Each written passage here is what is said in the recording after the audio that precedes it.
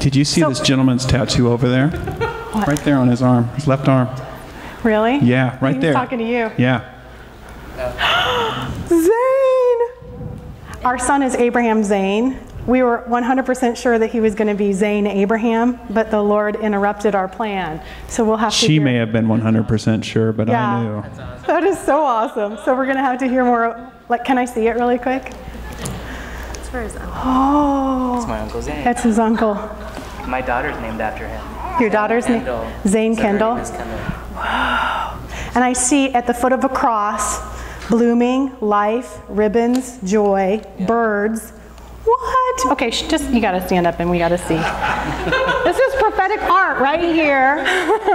Thank you so much. We have never sure, even for met, so this could be awkward. But I we're just gonna, saw it. I just saw that. So Zane. Yeah. good. Yeah, you can flex. amazing. That's a good. Show it Yeah, off. Yeah. Trying to like push it up. Yeah. I work out. That's so good. I love it. So, um, what I discovered when my brain blew up and all of my conclusions were gone was that I no longer could look at anyone the way that I had looked at them before, including myself. And I had not realized that I was standing on so many foundations that were built on conclusions. I don't know if you you know have thought about that too, but I realized that I had conclusions about everything. I had conclusions about gravity. I had conclusions about the sky being blue. I had conclusions about my husband. I had conclusions about myself. I had conclusions about every single thing, and those conclusions were creating the reality that I was living in before it even happened, right? Because the lens by which you see something affects the way that it behaves. In fact, even scientifically, we know that this is true. That when you look at even subatomic particles, your perspective and the fact that you view it changes the way they behave. And so I was discovering that because I was one neural synapse away from my conclusions, I was now free to think whole new thoughts. And this was such a gift that the Lord gave to me because He said, let's think whole new things. And so I took everything that I thought I knew about anything, which by the way, we don't even know what that is, right? I took it all and I put it like on a table in my mind. And I went, Lord, I don't want to have any conclusions about anything until you and I have a conversation about it. So everything is fair game. My spouse, me, the way the world works, the reason the church is this, my parents, relationships, business, jobs, finance, money, love, passion, everything, war, evil. I don't want to think about any of it unless you and I have a conversation because I want to remain in this unconcluded place. And it was such a gift to me. In fact, I remembered it was almost like going back to seminary because I used to go to, I went to Fuller Seminary, so grateful for that experience. And at the time that I went there, one of the passions that they had was to um, teach from the whole scope of Christianity. So they would have what some people would cons- consider extremely conservative perspective and an extremely liberal perspective. And every class you took, whether it was women in ministry, whether it was church history, whether it was Old Testament survey, no matter what class you were taking, they would share the perspective of the extreme liberal alongside the perspective of the extreme conservative. And part of the reason they almost had to do this was because at the time it was the biggest international school in our country.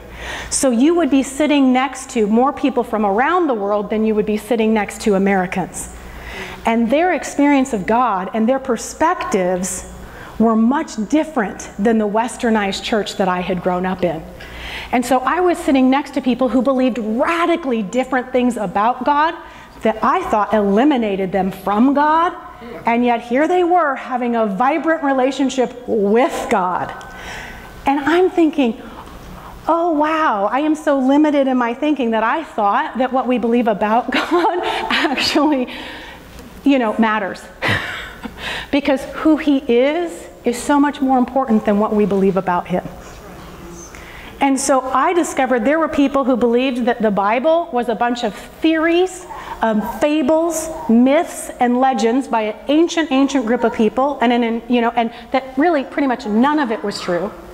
And I had people in our class who believed that the scripture itself was the holy word of God written through people and that there was not a single error or mistake down to the very last, there's no dotting of I's, by the way, but you know, down to the very last dot.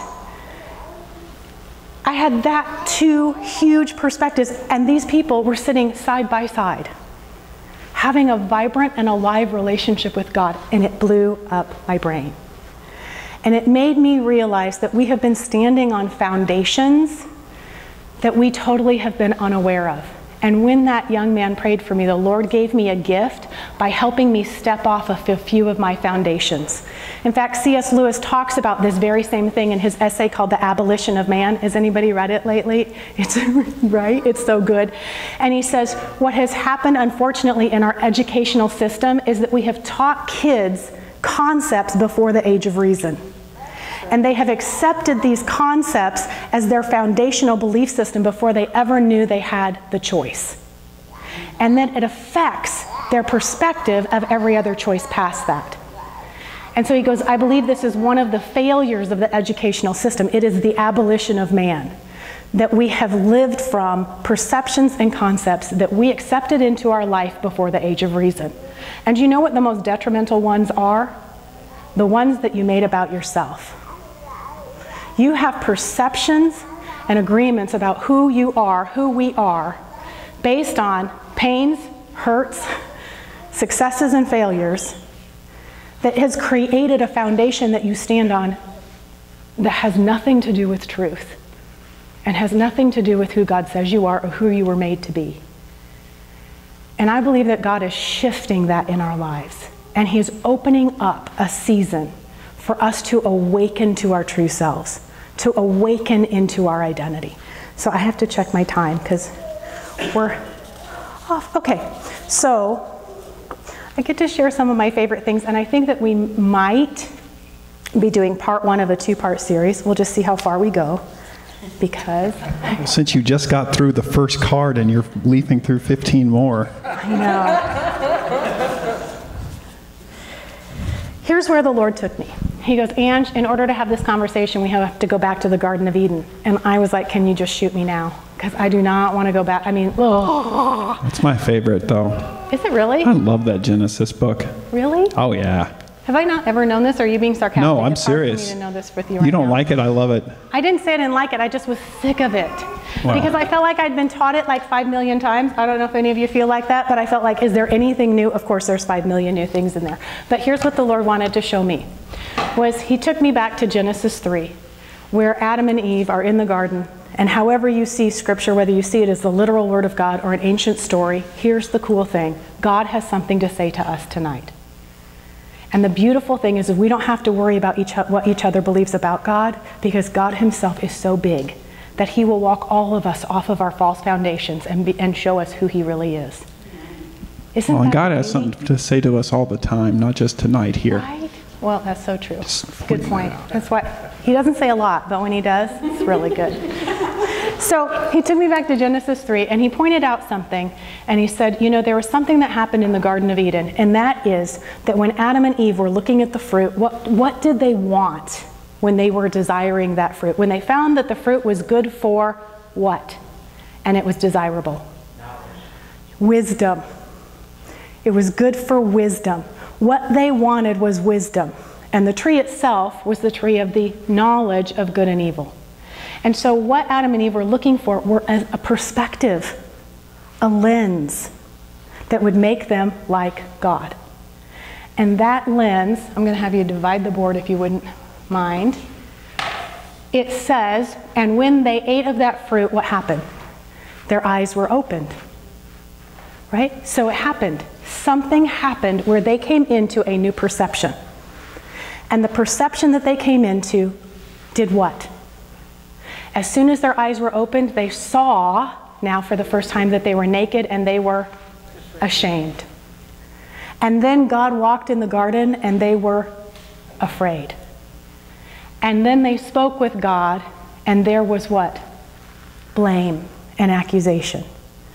So, as a result of eating of a tree of the knowledge and experience of good and evil, blessing and calamity, came a perspective that produced what? Shame, fear, blame, and accusation.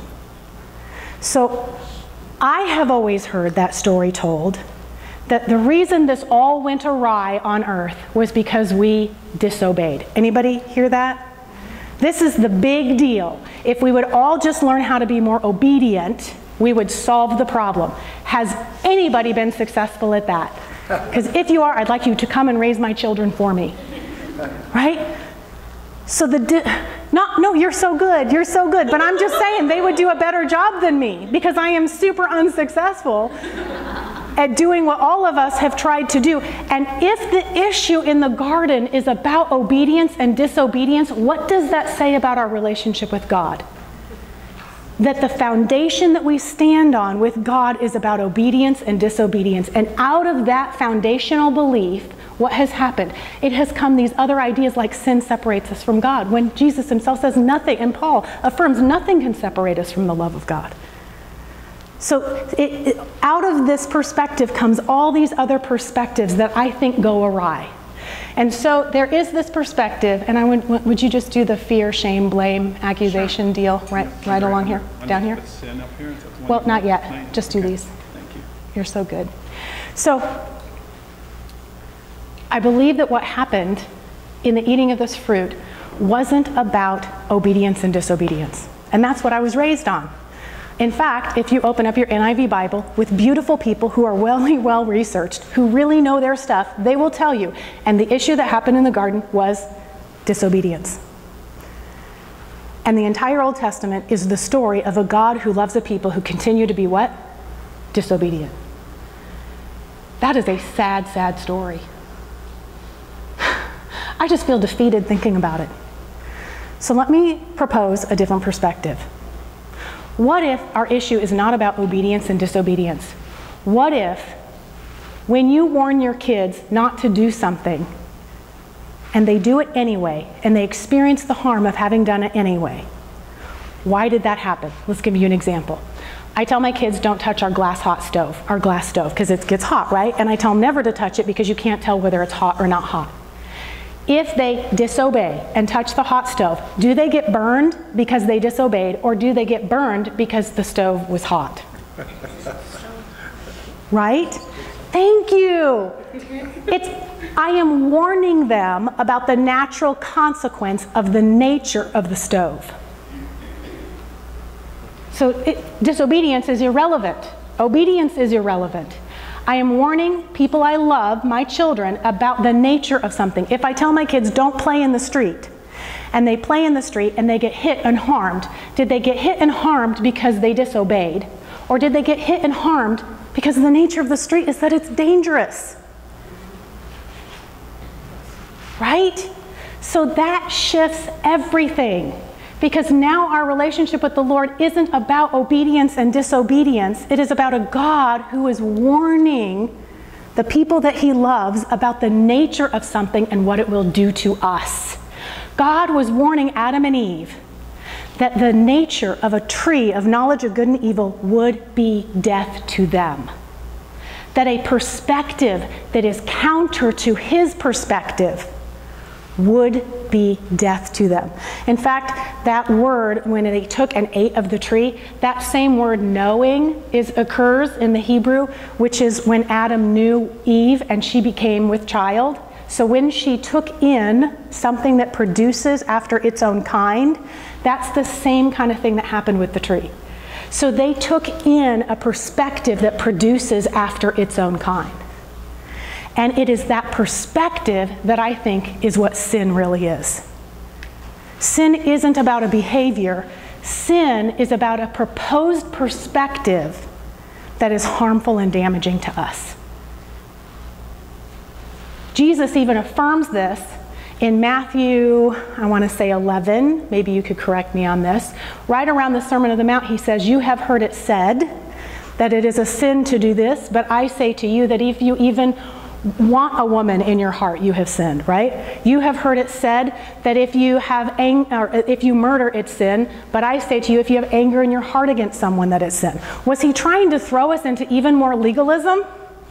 I don't think so. I think what he was trying to do was to go, I need you to understand it's not about the behavior. It's if you accept a perspective that is counter to who you are and who I made you to be, it will be death to you. That he's trying to help us get out of this behavior mindset and into an understanding that it's about the perspectives that we accept into ourselves. In fact, Proverbs 8, 9, and 10 outlines this really clearly. Um, and I love this. Proverbs talks about wisdom.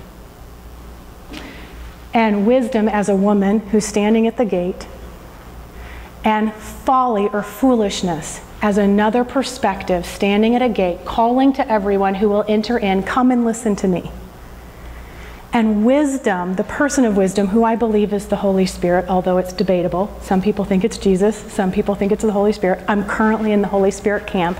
I can hear the Holy Spirit laughing at me, going, It's not really necessary that you know this, but anyway, that's I'll have to be honest with you, I thought all communications were from the Holy Spirit for a really long time. And then later I realized, was some of that you, Jesus, and some of it you, Father, but I kind of was freaked out about both of you, so you all just pretended to be the Holy Spirit? And they're like, yeah, pretty much we did. what? They're so funny. I just love, they'll just do, you know, they'll just do what they need to do to help us connect, right? So, this person of wisdom says, Hey, if you want to know how things really work, and this is beautiful, it's in Proverbs 8, 9, and 10, so you can look it up. This person of wisdom, and in lieu of time, I'm just going to paraphrase it. This person of wisdom says, If you want to know how things work, I was here. Before the foundations of the world, before the circle was drawn on the deep, before anything was set in the earth, I was here. I, as a master craftsman, stood with God and created all things that exist. And it was daily my delight to stand before God and dance regarding what? The sons of men. The person of wisdom who is here, who knows how everything works, stands daily with God, dancing and delighting regarding you. And it is wisdom's joy and honor to teach us all things. That was such good news because I've been wanting wisdom and thinking like it was being held back from me. And the Lord is going, oh no, it was only these perceptions that clouded your view. It is these perceptions that came into your life before the age of reason that have made it impossible for you to hear me clearly. And then Proverbs goes on to talk about this other wisdom, this foolishness, and what it does to deceive people. And the Lord started to help me understand there are two wisdoms in the earth. There is the Holy Spirit's perspective, and then there is this other perspective that is death to us. And the reason why God didn't want for humanity to take part of the knowledge of good and evil before they ate of the tree of life is because that physical experience of that perspective is death to us. That perspective makes us feel fear, blame, shame. It is a perspective that shifts us. And wisdom, who I believe is the Holy Spirit. And so, oh, hang on, backing up for just a second. So, if this is sin, it results in behaviors that then become harmful to us. We get a suggestion, we make an agreement, and then the result is a behavior. Doesn't that change things just a little? I mean, come on, doesn't that change things just a little bit? Because I've been trying to change behaviors all my life and going, why am I feeling so powerless?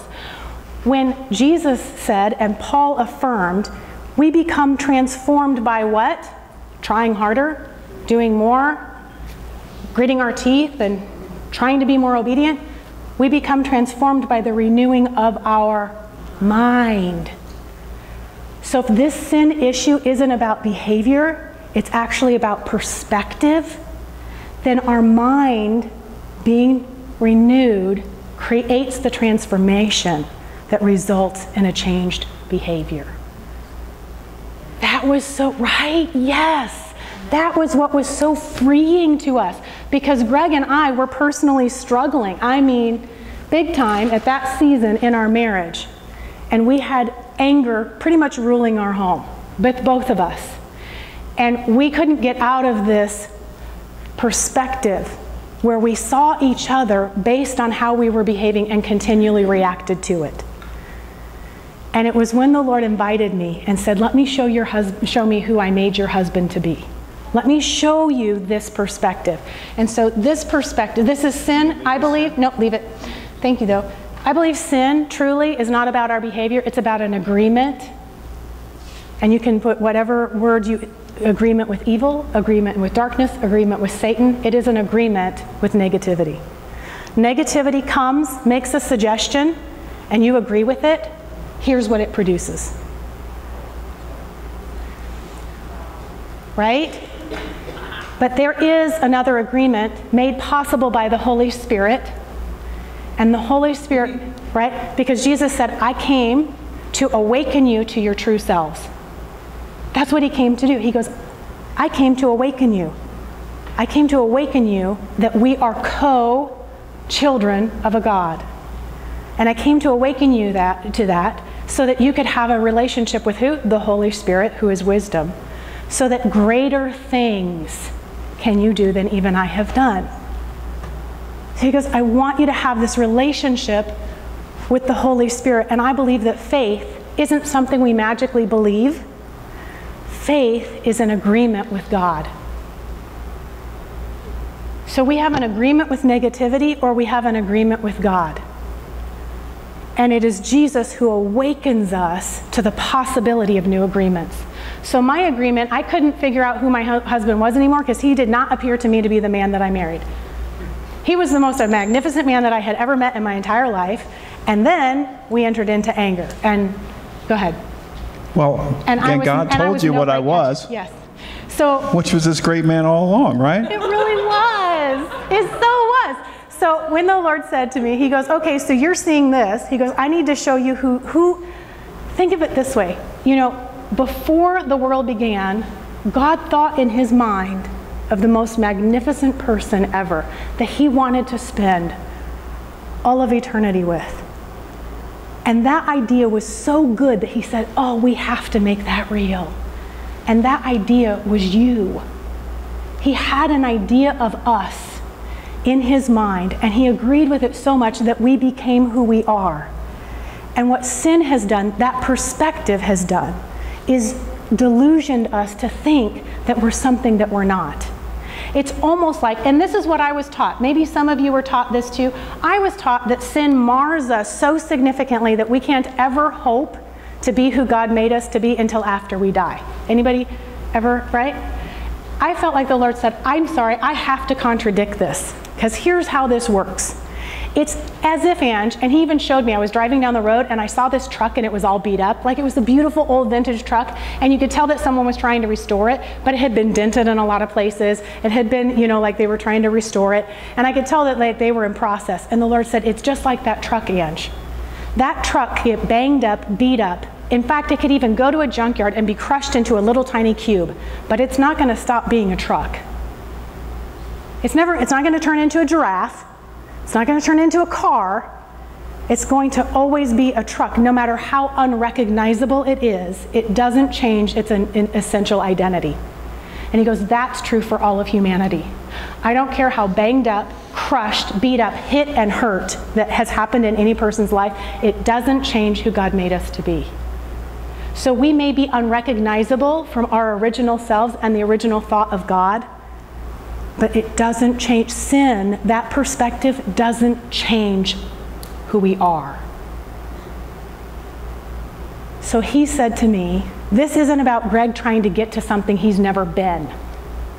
This isn't about your child with autism or your other child who also has issues, trying to get to something they've never been. This is about awakening their true identity. That makes all the difference. And so I said, okay, what's his true identity? And the Lord said, Greg is. What did he tell you? You really? Yeah, you got to say it. I have to. Yeah, Why me? because he told you. But you, yes, okay. Well, he, but you now agree with this. Yes. Yes, okay. So, Probably. do you. s- He's a man of few words. Mostly. but there are times. There are times. See, he's he's becoming fully convinced. So the Lord said to me, "You need to look up what Greg's name means. You need to look it up." And I Oh, went, that's okay. what you wanted me to say. Yeah. So I said, Did you really not know you weren't teasing? You just have to tell me. I have no idea what you're talking about right now. Help me out. Throw me a bone. Okay? That'll work. Watchman on the wall. Yes. so I looked up Greg's name and it said Watchman on the Wall, and I'm like, what is that? What is that? That's the dude who stands up there who's the low level paid guy because he can't really do anything else that's super skilled and he stands You don't learn there. about him in the movie. He's the first to die by some arrow. Right. He's that guy. persistent and he stands there, but he's not so smart, right?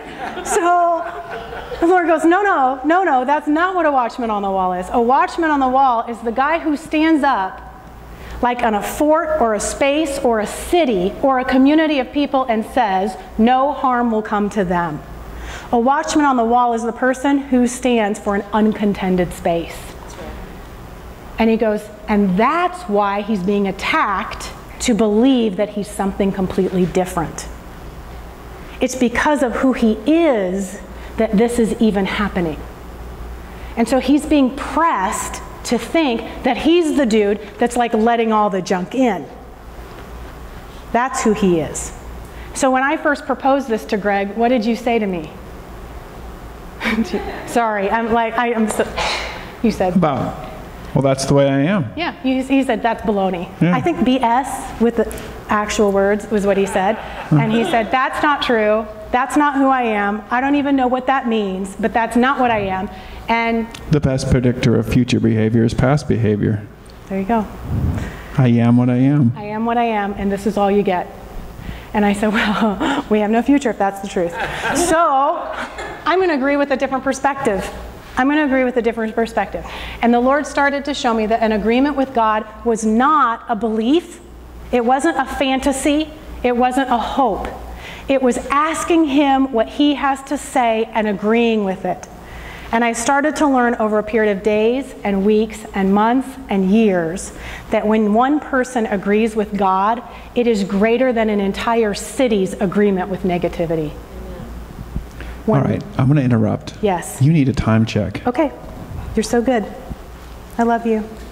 You're good at that. So, on this side, what we've heard in Scripture is that this is like the flesh. This is the old nature. This is the sin nature. On this side, we've heard it very much spoken, spoken about in Scripture that this is the new nature, the new creation. This is when we come into the perspective of God, we, co- we are a new creation because we now have the Holy Spirit awakened in us. And we now have, in fact, that song, Oh How He Loves, that song was the first song that I ever experienced God's actual communication with me. Before that, I just really hated worship. Yes, I actually would say that out loud. I just, I never felt like it ever spoke to me. I never felt like I ever heard the Lord. I always heard like, you're a fake, you're singing these words, you don't even know what these words mean. You know, I mean, it was, it was, that's all I felt during songs. Like, and all these people be worshiping and having these great experiences, and I'm, I'm in hell. Yeah, I would like to go to the bathroom during worship at church because I just never felt that. But I went, Lord, I know you have something for me. And so he opened up this one song and it says, He's jealous for me. He loves like a hurricane. I am a tree bending beneath the weight of his wind and mercy. And all of the sudden, I am unaware of these afflictions eclipsed by glory. And I realize just how beautiful you are and how great your affections are for me. Oh, how he loves him so. Oh, how he loves us. How he loves me so. And I saw it. I saw the Lord go, I can move you from this perspective that has locked you into an angry, abusive household. And I can move you into a perspective where you can do nothing but win. I can show you who He is, and your agreement with me can open an atmosphere and a space where they can see it for themselves. And that's where everything started to change. And Greg, and I still remember, and this is where I'm going to end. I still remember the moment we were in a fight right before we got on a 14-hour trip to Colorado, and um, I was like, I don't think we can like live in a car with this much um, tension. So I said, you take a timeout, I'll take a timeout, right? And, Yeah, I remember that. and he went to the bedroom, and I went somewhere else, and we and he came back out, and he was like whiter than he already is, which is really, really white, and um, his eyes were super big, and he said to me, I think I just saw for the first time ever that anger isn't who I am. I am not anger. Anger is coming after me. See, he saw all of this negativity as coming from him. See, that's what we were taught, right? We have to keep dealing with ourselves. We have to keep correcting ourselves. We have to take up our cross. I think that's a misunderstanding of those scriptures. And so we keep, the more we deal with it, the bigger it gets. The more we try to discipline our kids and the more we try to correct them into the right thing, the bigger it becomes. Instead of going, you have been affected and attacked by a perspective that is not you. And that perspective isn't coming from you, it's coming at you. That's the difference. I'm not impatient. I am being pressed by impatience to think that it is me. And if I agree, if I agree, I am now in sin because then it bears its own fruit. Do you know that it only gets its power when we agree with it? Our agreement is what gives negativity a place in the earth. Woo! Which is why I'm we are to say some for next week, babe. co creators with God, and it is our agreement with God that releases our identity. And so we both started to agree that Greg is a watchman on the wall and creates an uncontended space. And we started to agree with God about who I am. And Greg actually started creating then proclamations over Yep. our family. Yep. Yep. And we're in with that. Can we talk about that? Yeah, just for a quick second. All right. So I wanted to start agreeing with God more, and um, I didn't really know how to do that. And so I started writing down things that I wanted to pay different, that I thought um, needed to be different in our house, in our home, in our family. And so I'd write down these things that. Sorry. I To be- You never let me have the whiteboard marker, but I'm doing it while you're talking. All right. Okay, go ahead. And so, um, so I would, I wrote down these things I wanted to be different, and I would speak them. I would speak them out loud um, daily, by myself. Um, and uh, I think the, the spoken word has, is really important. Uh, speaking things out loud. It's how God created things, and uh, I think that made a lot of difference that way by speaking them out loud. And then over time, I would come to the realization that. Uh, some of these things may have been disagreements, things I didn't want to happen, but they weren't really agreements with God necessarily. And so you would, I would change and modify those statements so they would be more in agreement with God, and I would keep speaking those out. But the really cool thing is they came to happen. So that was a really cool thing. The cool thing was he, he went, our life would be totally transformed if these things happened. Our lives would be totally different. And then one day he came in and he goes, I don't even know what to proclaim anymore because they've all happened. And some of them we didn't even know about in the house. No. I didn't even know what he was proclaiming, and it started to happen, and I didn't even know it. So I was being transformed by his agreement with God about me, and I didn't even know what it was. And all it was was me practicing, Yeah. trying to agree with God. Which is really what God said was possible when He said, I want you to have dominion over the whole earth. Walk in your true dominion and partnership with me, that when you agree with me, things transform. So I just put this little quick thing, and we're going to end our message here, which is we were born into sin, which I thought was we were born into disobedience. Do you know that's actually not biblical? I know, crazy. You can look it up, it's super fun. So we were born into sin, which I believe a better way of describing it is a perspective that is death to us. We're born into, we're born into a perspective that is harmful to us. We all at an early age feel ashamed, we feel bad, we feel like we have to hide things, we feel like we have to blame or accuse other people. We're born into that perspective. None of us chose it, we're born into it. And God says, Jesus says, by way of me, you can be born again into the Spirit, which is a new perspective. Not born into obedience, not born into a behavior, born into a perspective that is life. This perspective brings death to the mind, body, and the emotions, but this perspective brings life to the mind, body, and emotions. And it is that perspective that is, do you know how quick it is to, you can change your mind? Faster than I can snap my fingers. We can think new thoughts faster than that sound got to your ears. That's how easy. The yoke really is easy and the burden is light. The reason why it hasn't felt that way is because we've all been hammering away at behavior. That sucker's hard. But touching on a perspective and a shift, a boy with Down syndrome gave me that gift to help me think a higher thought, to help me think of things and see things differently. What? Yay. All right, we're going to bring kids in. So if someone would take go out and grab children. Yay. Really? You just pulled her back? Miss Julie. Thank you, Miss Julie.